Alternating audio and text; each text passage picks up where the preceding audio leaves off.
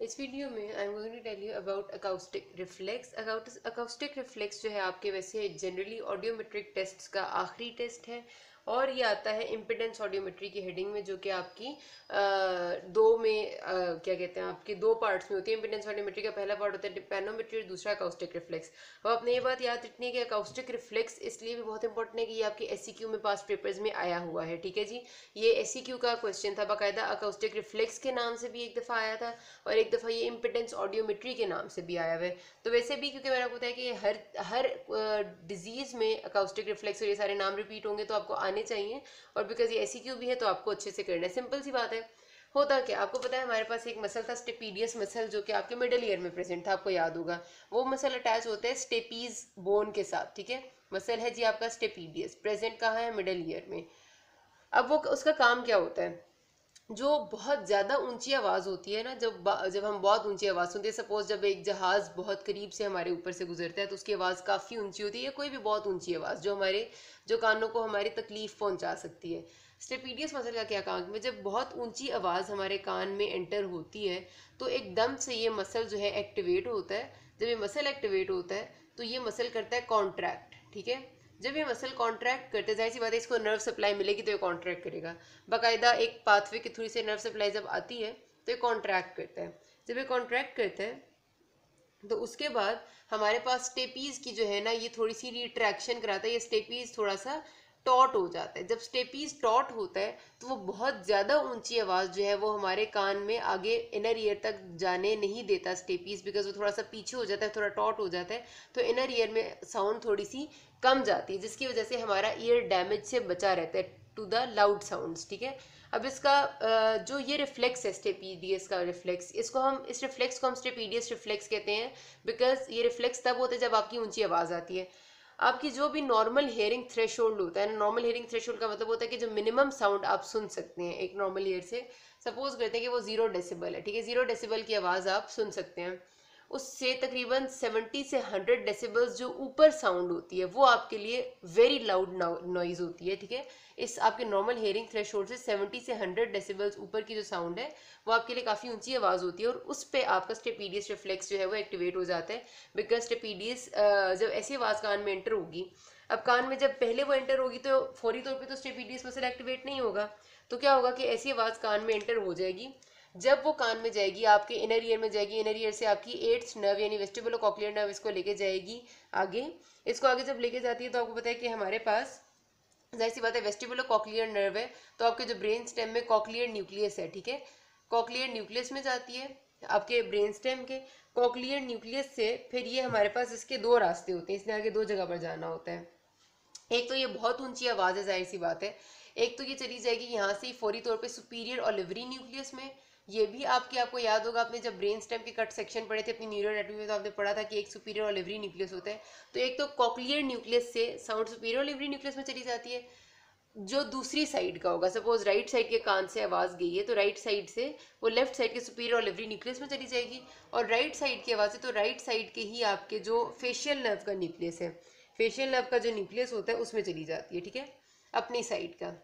तो ये राइट वाला है और ये लेफ़्ट वाला है। अब फेशियल नर्व के न्यूक्लियस से पे क्यों जाती है? क्योंकि आपके स्टेपीडियस मसल को सप्लाई आ रही है फेशियल नर्व से। ये फेशियल नर्व फिर जाके अपनी साइड के स्टेपीडियस मसल को सप्लाई करती है और फौरी तौर पे वो कॉन्ट्रैक्ट करते हैं और स्टेपीज पीछे होता है तो आवाज़ जो है वो आपके ज़्यादा जाना कम हो जाती है। अपनी साइड पे ये हो जाता है। लेफ़्ट साइड पे क्या हुआ था? सुपीरियर ओलिवरी न्यूक्लियस में आवाज़ गई थी। सुपीरियर ओलिवरी न्यूक्लियस से फिर वो आवाज़ जाती है दूसरी साइड के फेशियल नर्व के न्यूक्लियस में। और फिर वही होता है कि दूसरी साइड का जो फेशियल नर्व का न्यूक्लियस है, वो दूसरी साइड के कान के स्टेपीडियस मसल में जाती है और उसको भी कॉन्ट्रैक्ट कराता है ताकि आवाज़ दूसरी साइड से भी थोड़ी जाए। तो मतलब ये कि जो इसका पाथवे है, आपका स्टेपीडियस रिफ्लेक्स का वो ये है, दो तरह से ठीक है? मतलब दो पाथवेज चल रहे होते हैं कि राइट कान से आवाज़ गई राइट कान से आवाज़ राइट कॉकलियर न्यूक्लियस में गई, ज़ाहिर सी बात है थ्रू द ब्रेन वो नर्व उधर से वो गई अपनी ही राइट साइड के फेशियल नर्व के न्यूक्लियस में स्टेपीडियस मसल एक्टिव हो गया। उधर से वो चलेगी थी सुपीरियर ओलिवरी न्यूक्लियस दूसरी साइड का facial nerve and stapedius muscle active हो गया। जैसे ही वो एक्टिव होता है, आपकी ऊँची आवाज़ जो है वो आना ख़त्म हो जाती है और आपको आपका कान डैमेज से बच जाता है। अब ये वाला रिफ्लेक्स हम देखते हैं कि किस किसमें नॉर्मल है, ठीक है? हम इतनी ऊँची आवाज़ पेशेंट के कान में देते हैं और हम देखते हैं डिटेक्ट करते हैं कि स्टेपीडियस रिफ्लेक्स नॉर्मल है या नहीं। अगर स्टेपीडियल रिफ्लेक्स नॉर्मल होगा तो आपकी जो टिम्पैनोमेट्री आप करेंगे, मैंने आपको टिम्पैनोमेट्री पे पूरी एक अलग वीडियो बना के दी है। आप वो देखिएगा, आपको पता चलेगा टिम्पैनोमेट्री क्या होती है। अगर नॉर्मल होगा तो आप टिम्पैनोमेट्री करते हैं आप तो ज़ाहिर सी बात है कि उसमें आपकी जो कॉम्प्लाइंस है, वो डिक्रीज आती है। कॉम्प्लाइंस डिक्रीज क्यों आती है? क्योंकि आपका ऑसिकुलर सिस्टम जो है, वो टॉट हो चुका है। आपका स्टेपीडियल रिफ्लेक्स में मैंने ये बताया ना कि जो आपका स्टेपीज बोन है, वो थोड़ी सी पीछे होती है, थोड़ी टॉट हो जाती है। टॉट क्यों होती है? ताकि ट्रांसमिशन ऑफ़ साउंड डिक्रीज हो।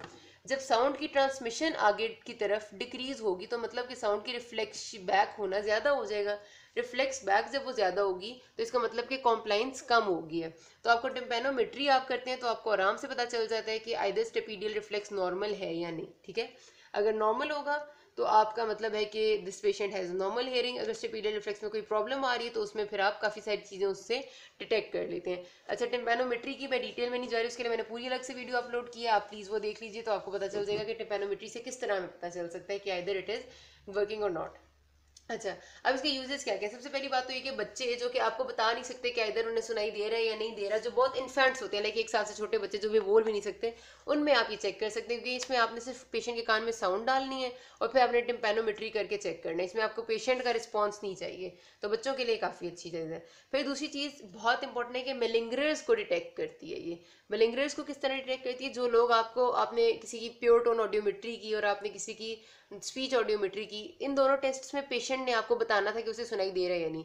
जो मिलिंगरर होगा पेशेंट यानी जो झूठ मूठ में ड्रामा कर रहा होगा, वो तो कह देगा भी उसे नहीं सुनाई दे रहा या कुछ ऐसा भी एक्टिंग कर देगा।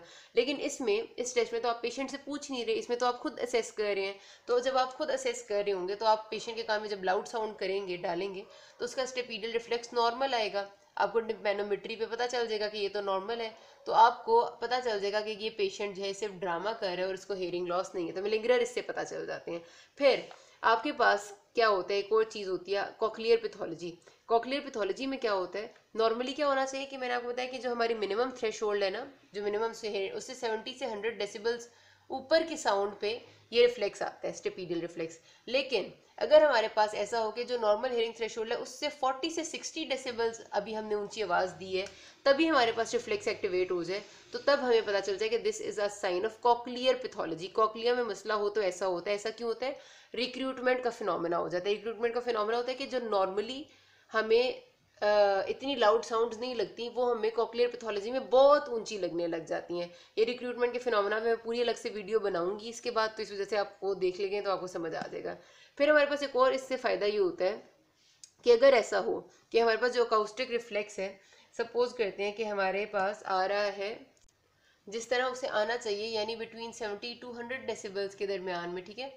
यानी सेवेंटी से हंड्रेड डेसिबल्स के दरमियान में हमने पेशेंट को एक इतनी मतलब इतनी ऊँची आवाज़ दी और उसको स्टेपीडियल रिफ्लेक्स लाइक उसने शो किया। हमने टिम्पेनोमेट्री पे डिटेक्ट कर लिया।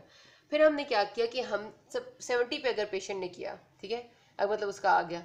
हम क्या करें कि हम इससे टेन डेसिबल्स और ऊँची साउंड दें सेम फ्रीक्वेंसी पे। जिस फ्रीक्वेंसी पे हमने पहले साउंड दी थी सपोज़ फाइव हंड्रेड हर्ट्स की फ्रीक्वेंसी थी, उसी फ्रिक्वेंसी पे अब हम 80 डेसिबल्स की साउंड पेशेंट के कान में डालें और तकरीबन 10 सेकंड्स तक मुसलसल वो जारी रखें।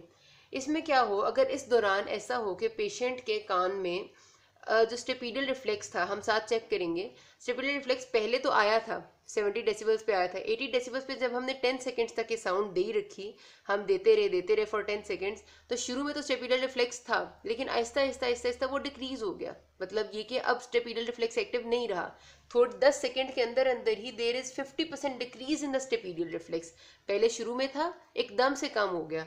इसका मतलब ये कि कान एकदम से उसने स्टेपीडियल रिफ्लेक्स को डिके कर दिया है, उसने उसको छोड़ दिया है। इसका मतलब क्या होता है हमारे पास कि कोई ना कोई एट्थ नर्व में मसला है। कैसे एट्थ नर्व में मसला है कि ज़रा सा तो जब हमने थोड़ी देर के लिए दिया या एकदम दिया, तब तो उसने स्टेपीडियल रिफ्लेक्स शो किया, लेकिन हमने थोड़ी देर जब ऊँची आवाज़ दे ही रखी तो उसूलन चाहिए ना कि एट्थ नर्व नहीं तो ट्रांसफ़र करना है सारी आवाज़ को। एट्थ नर्व से ही तो कहानी शुरू हो रही है, क्योंकि आवाज़ सबसे पहले जाती है तो एट्थ नर्व ही तो उसे आगे लेके जाती है और फिर फेशियल नर्व एक्टिवेट होते हैं स्टेपीडियस मसल एक्टिवेटेड है ऑल्सो ऑन अगर एट्थ नर्व में ही मसला है तो वो थोड़ी देर एकदम से तो उसने काम कर दिया, लेकिन जब उस पर बार बार काम करने के लिए कहा गया और उस पर बोझ पड़ा तो उसने छोड़ दिया तो स्टेपीडियल रिफ्लेक्स डिके हो जाते हैं तो एट्थ नर्व लीजन का हमें पता चल जाता है इस तरह। और अगर पेशेंट की हेयरिंग बिल्कुल नॉर्मल है उसे बिल्कुल ठीक सुनाई दे रहा है। लेकिन स्टेपीडियल रिफ्लेक्स बिल्कुल एबसेंट है। वो आ ही नहीं रहा। तो इसका मतलब ये कि लीजन आपकी सेवन्थ नर्व में है। यानी आपकी आवाज़ आगे ज़रूर जा रही है। पेशेंट को सुनाई भी सब ठीक दे रहे हैं। लेकिन जब उसका कॉकलियर न्यूक्लियस फेशियल नर्व को मैसेज देता है और फेशियल नर्व से मैसेज आगे स्टेपीडियस मसल तक आता है तो यहाँ पर कोई प्रॉब्लम आई हुई है और यहाँ से मैसेज आगे नहीं आ रहा। तो मतलब फेशियल नर्व लीजन है। तो सेवन्थ नर्व या फेशियल नर्व लीजन भी पता चल जाती है। और अगर ऐसा हो कि हमारे पास सेम साइड का जो रिफ्लेक्स है, वो तो ठीक आ रहा है। हेयरिंग भी ठीक है, लेकिन ऑपोजिट साइड का रिफ्लेक्स ठीक नहीं आ रहा। हेयरिंग भी ठीक है, सब कुछ ठीक है, सिर्फ़ ऑपोजिट साइड पे रिफ्लेक्स ठीक नहीं आ रहा तो इसका मतलब ये कि ब्रेन स्टेम में कोई मसला, यानी कि जब ब्रेन स्टेम से मुराद ये कि जब बात जा रही थी कॉकलियर न्यूक्लियस से सुपीरियर ऑलिवरी न्यूक्लियस दूसरी साइड का और वहाँ से जा रही थी हमारे फेशियल नर्व के न्यूक्लियस में। तो यहाँ पर या यहाँ पर कोई मसला है कि जो ब्रेन स्टेम में कोई इशू है जिसकी वजह से अपोजिट साइड पे रिफ्लेक्स नहीं आ रहा। सो so, ये सारी चीज़ें हम इसे चेक कर सकते हैं। Acoustic reflex is done your audiometric test are done if you have any query up till now you can ask me thank you